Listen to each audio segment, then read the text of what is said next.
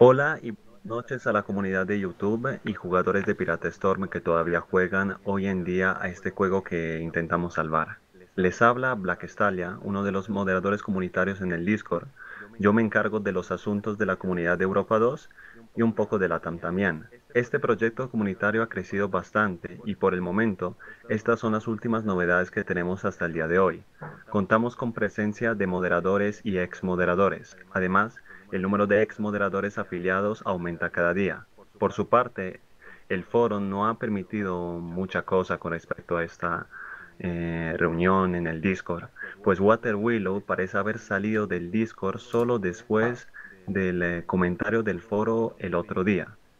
Em, la consulta a BigPoint a través correos, tickets, nuevos correos proporcionados, solo faltaría llamar al número, pero el proporcionado no es de soporte. ¿A qué me refiero? Ya tenemos varias herramientas para poder comunicar con ellos. Se han puesto moderadores comunitarios. Hay 19 o 20 que pueden ir turnándose o cambiándose con el pasar del tiempo, además del nuevo rango inferior al moderador llamado tutor para llamar gente y ubicarla. Se ha conseguido nuevas formas de comunicar con la BigPoint, como anteriormente dije, principalmente entre el fax, correos, y los moderadores discordianos portugueses habían recomendado esto. Los moderadores comunitarios en Discord se organizan o se organizaron para ayudar a la comunidad a dividirse por servidores e idiomas de los servidores de Pirate Storm respectivos. Se están alistando acciones para realizar en el juego a través de la comunidad. El Discord, por ello, ha sido mejorado ayer en la tarde para contener más idiomas y ser más fácil de usar para quienes no hablan inglés. También cuenta con sección de noticias, reglas y su off-topic, y todo lo que quieran recomendar se puede ir colocando. Para quienes tengan clanes, pero siempre han tenido dificultades en crear TeamSpeak o, Discord, se puede crear mini discordias dentro del Discord comunitario. Así que pueden eh, ser digamos, como un lugar de reparo para esos clanes. Los moderadores se comunican de forma piramidal con los almirantes, capitanes o representantes de clanes de, servidores respectivos, y esta será la estructura para las actividades que se llevarán a cabo. Con actividades me refiero el motivo de existir del Discordia mismo, llevar a cabo actividades conjuntas entre servidores que ayuden o incluso obliguen al juego a cambiar. Eh, hay un equipo de jugadores cazadores de Pirate Storm que están buscando ahora mismo eslovenos, húngaros y checos porque todavía faltan dentro de la comunidad y hay que insertarlos. Ahora para youtubers de Pirate Storm hay una sección también de YouTube para subir videos al Discord y también una sala audio. Para cuestiones eh, en relación a los errores, los bugs, las irregularidades de todo tipo, hay una sección también creada en Discord por los moderadores del Discord para poder colocar todo esto respectivamente. La identidad del admin sigue siendo un misterio, pero muchos apuntan a que sea un ex moderador.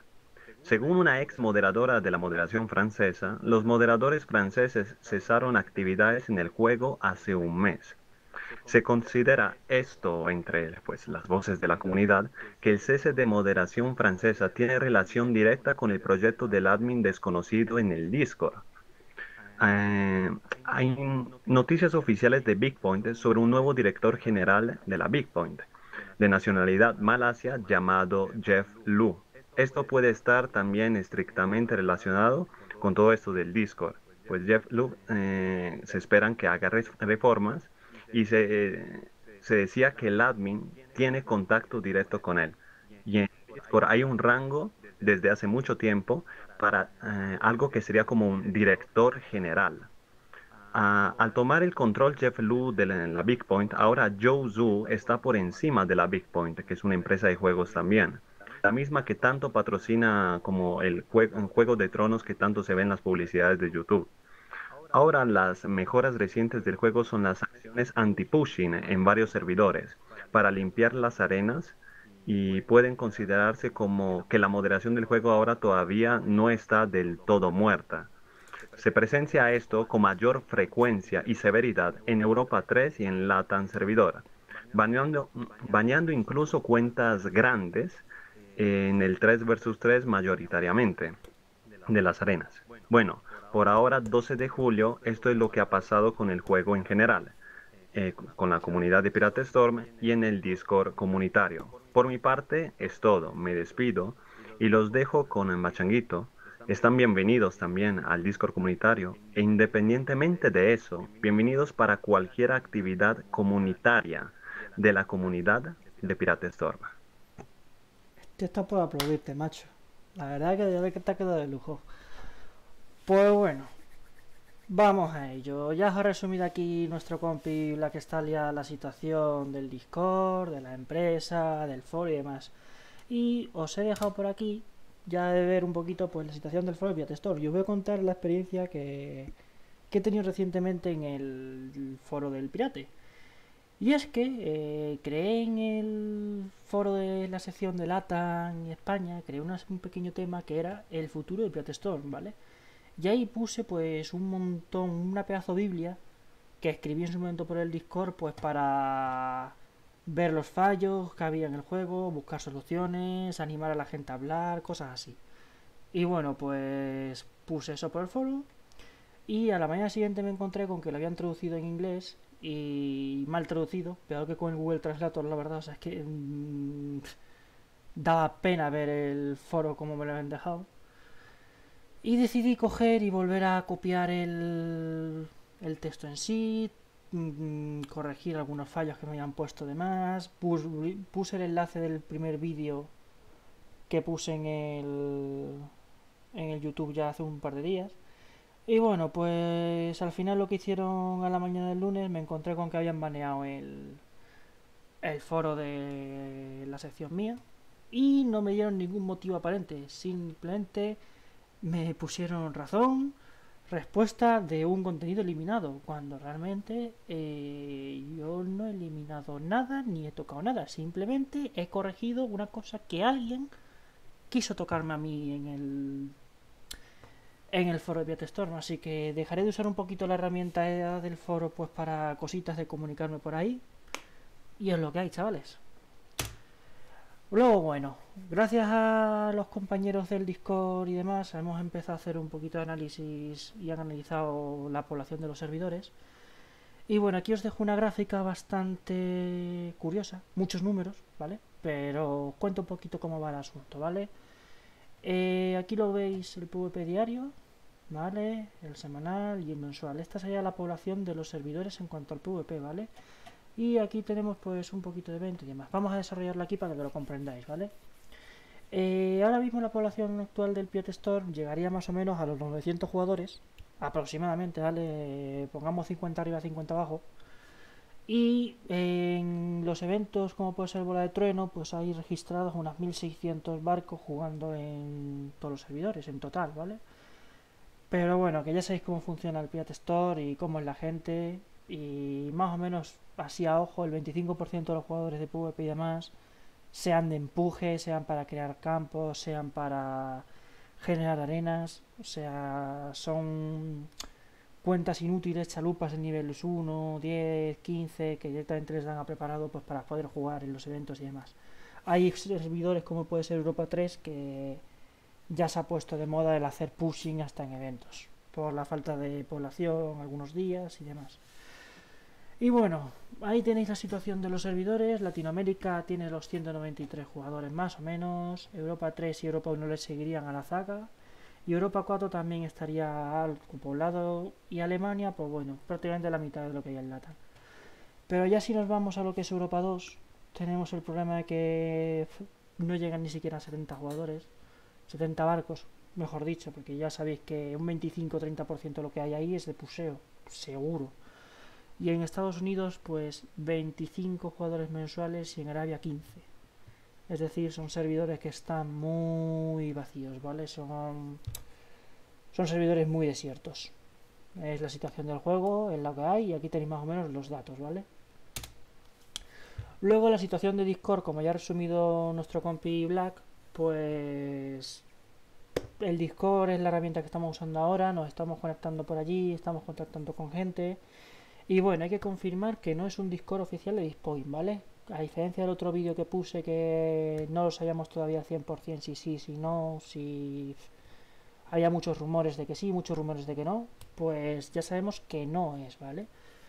Y sin embargo, mmm, hay ya unos 150, 160 usuarios del Discord, ¿vale? Que están registrados y que se van conectando, ¿vale? Aquí habéis visto ya que nuestro compi ha nombrado lo de las salas, que han creado un montón de salitas, veis aquí lo de los reports, aquí han puesto el welcome, hay salas para cada clan, salas para cada servidor en muchos idiomas. Está bastante entretenido, la verdad. O sea, yo os animo a que os registréis, ¿vale? Porque incluso aunque ha, ha costado mucho contactar con gente, la gente va entrando, se va registrando, va hablando, intercambian sus opiniones. Siempre veis alguna sala con algunas personas ahí hablando, o mucha gente está escribiendo pues, en las salas para escribir.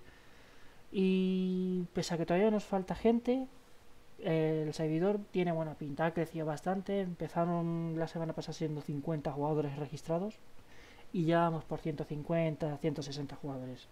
Así que vamos poco a poco, pero vamos, que ya es algo, como os he dicho por aquí abajo. Y luego, pues la situación que ha comentado de nuestro colega sobre los moderadores y demás. Los moderadores somos gente que nos han dado el privilegio allí de invitar a gente, crear salas, editarlas un poco. Y son la gente que se está moviendo para hacer las cosas. Yo personalmente no me estoy moviendo mucho, pero hay compañeros que sí, sí se están encargando de otras funciones y demás. Son puestos temporales, van rotando, la gente pues, pues es lo que hay. Ahora mismo esta foto está un poquito así, no está actualizada al 100%, pero eh, son más o menos los jugadores que hay, ¿vale? Si no, recuerdo mal, hay otros dos o tres jugadores más de, de la temporada ahí también que tienen privilegios de moderador y demás. Y se ha creado la figura del tutor, ¿vale? El tutor vendría a ser básicamente, pues, personas que no quieren moverse tanto, tienen un poquito menos de peso, no quieren tener tanto peso en este movimiento o Discord, como queréis llamarlo, y que lo que buscan es invitar a gente, contactar, buscar medios, aportar ideas. Son gente que es un poquito más de lo normal, que también echa un cable tremendo con, con esto del Discord. Así que yo os animo a que os registréis y vayáis trayendo a gente, habléis con la gente. No solamente se habla del Pirate Stone, se habla de muchos juegos, del League of Legends, del War Thunder, se ponen vídeos de arena, se ponen vídeos de cómo te sacas un duca mismo, tienes ahí capturas de clanes de un montón de barquitos juntos. No sé, es para recordar también los viejos tiempos que eh, los servidores antes estaban llenos hasta las trancas y ahora están un poquito más vacíos lo que hay, chavales. Pero aquí tirar para adelante. Y bueno, esto sería el resumen que ha dicho aquí Astalia. Mm, no hay mucho más que añadir. Contamos con moderadores y moderadores. El foro ahora mismo no te permite ningún tipo de consulta porque ya lo he intentado consultar yo y me han bloqueado hasta mi propio foro, por así decirlo, mi propio tema, lo han bloqueado y me lo han eliminado. Así que no me dejan ahí escribir con plena libertad. El Discord cuenta con moderadores comunitarios de todos los servidores, los idiomas generales. También hay, hay muchas lenguas allí ahora mismo en el Discord. O sea, que se hable en inglés, francés y español es lo más normal, pero también hay alemanes, también tenemos rusos, también tenemos búlgaros, rumanos, canadienses, árabes, hay muchísima gente aquí, es un popurrí de lenguajes y culturas muy curioso. Bueno, aquí recalco lo de la figura del tutor, ¿vale? Para que sepáis un poquito cómo te resumen cómo iba el asunto. Eh, por lo pronto tenemos maneras de contactar con Bitpoint, costó mucho pero se ha encontrado. Hay cosas que no funcionan hay correos que no existen hay correos que sí. Entonces vamos viéndolo poco a poco pero ya hay sitios por los que se puede contactar con la empresa. Y la idea general de esto vale que yo creo que es lo más importante aquí de este vídeo y mucha gente que se pregunta y demás ¿para qué el Discord y para qué todo esto? pues bueno es para crear básicamente un mensaje para enviar toda la comunidad del Pirate Store posible a la empresa acerca de la situación del juego o de lo que quiere mejorar, lo que quiere cambiar, cualquier cosa que sea aportar y tirar para adelante, ¿vale? Es una idea general. Ya se mandará a los moderadores, lo hablaremos entre todos nosotros, invitaremos a más gente, que todo el mundo aporte las ideas, haga un popurrí, una lluvia de ideas, y a partir de esa lluvia de ideas se resuma un poquito, se traduzca a varios idiomas y se mande, ¿vale? Eh, las secciones de los vídeos dentro del Discord son bastante curiosas, ¿vale? Yo os animo a registraros al Discord y verlos, porque es que tenéis vídeos tanto del pirate como de otros juegos y están bastante graciosillos, la verdad. La identidad del administrador todavía no se sabe al 100%, pero creemos, como ha dicho Stalia, que es un administrador del juego del foro. Posiblemente francés, no se sabe, posiblemente español, no se sabe, pero se cree que si es un moderador o es moderador. Y que se ha encontrado por ahí que hay una licencia comprada por Pirate Store en los servidores hasta abril de 2020. El problema es que la 2 Flash Player cerraría en diciembre, enero. Por lo tanto, no se sabe si esto es síntoma de que planean hacer algo a partir de esa fecha para seguir con el juego. Pararía el juego en el 2020, el día 1 de enero de 2020 se pararía el juego. O que tienen proyecto ya y que hay gente moviéndose para hacer un mini cliente como ya se han hecho en el Safari y como se ha hecho en el Dark Orbit. Entonces al 100% no se sabe cómo va el asunto, sabemos que está eso, pero no podemos confirmar nada, simplemente nombraros el dato y como en el anterior vídeo pues manteneros informados y seguiremos en contacto como se podamos. Aquí tenéis nuestro lema de la rebelión básicamente. Y que necesitamos más jugadores para empezar este movimiento. Así que ya sabéis, chavales, darle a like, suscribiros al canal, darle like también por el chaval Estalia que se lo ha currado aquí y ha hecho un discurso de político que te cagas, la verdad. Poco más y estoy por aplaudirle o ponerle musiquita de aplausos. Se lo ha currado un huevo. Y al igual que todos los moderadores lo están currando un montón y animo a la gente a seguir jugando a esto y que lo mismo tiene futuro. Que la cosa está muy bien. Pinta muy bien el asunto. Así que ya sabéis. Hasta luego. Chao.